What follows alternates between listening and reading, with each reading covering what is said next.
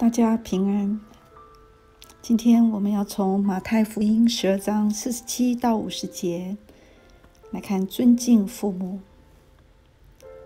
有一天，当耶稣正在教导一群人时，有人告诉他说：“看呐，你母亲和你弟兄站在外边，要与你说话。”他却回答那人说：“谁是我的母亲？谁是我的弟兄？”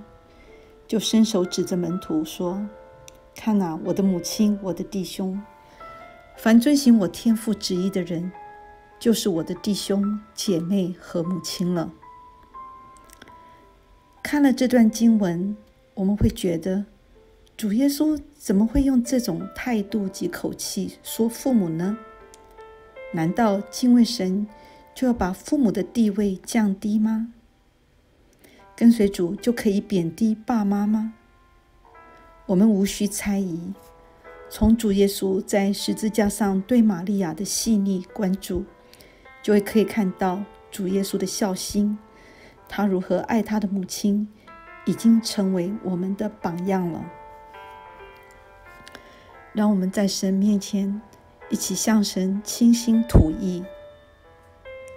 亲爱的天父，当孩子对我们说：“爸爸妈妈，我好爱你”时，我们真是欢喜异常。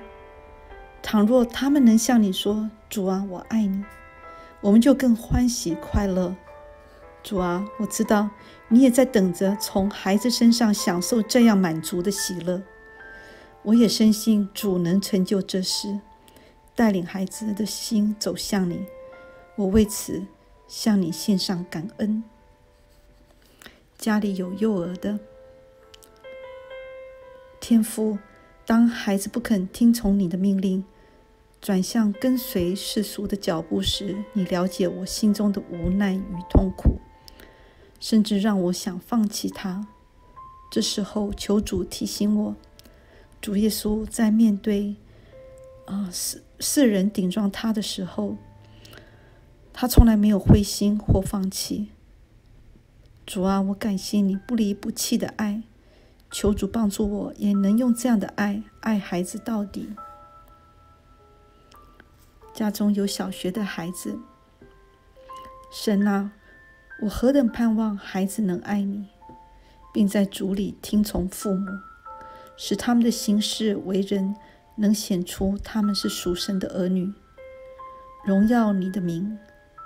当孩子和我们都在主面前如此学习时，你必得着满足，使我们能以你的满足为最宝贵的奖赏。是的，主啊，你就是我们的奖赏，我们感谢赞美你。家中有青少年的，亲爱的主啊，当我在管教的过程当中，遇到圣经原则与华人文化间的张力时，求你指教我该如何处理。叫我们在其中能表达合一，不致使孩子认为我们是强势与独断。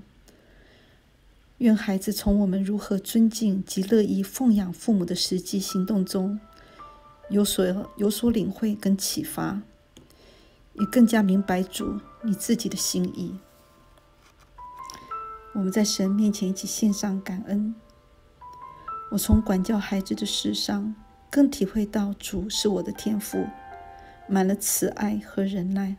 我为此感谢主，祷告奉耶稣基督宝贵的名，阿门。啊，我相信尊敬父母在我们华人当中是啊，我们从小就都是这样学习的，其实是跟圣经上头是符合的。世界里头上头有这么说：当尊敬啊，我们当孝敬父母，是你在世上的日子啊得以长长寿。那我想我们在教导孩子的过程当中，我们自己也以身作则，让孩子们看到我们的信仰跟我们的文化其实并没有那么大的冲突，因为这也是圣经上头的教导。也求神保守我们啊！若是您的父母亲还在的话。啊，把握机会啊，跟他们表示您的爱。我相信孩子们也都会看在身上的，他们都记在心里头的。阿爸天父爱你，耶稣爱你。